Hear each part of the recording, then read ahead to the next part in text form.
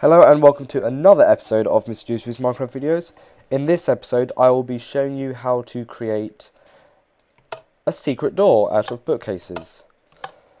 Um, this is just a basic design.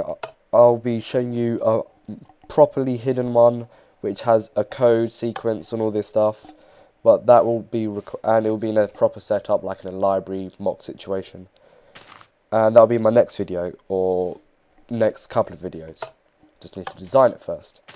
Um, so basically you have a have a lever attached to that block crap and then the lever powers the redstone and then the redstone just splits into two main channels and then two sub channels and the two sub two sub channels on each of them split onto each of the uh, uh, sticky pistons like like so which are attached to the red uh, the bookcases. So that's driving them up and down.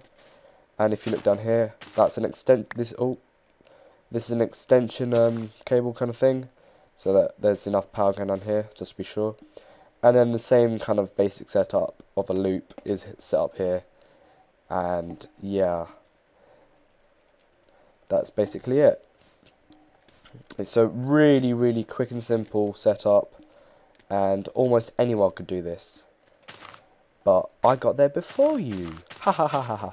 Anyway um, as I said I'll be putting this into a proper situation.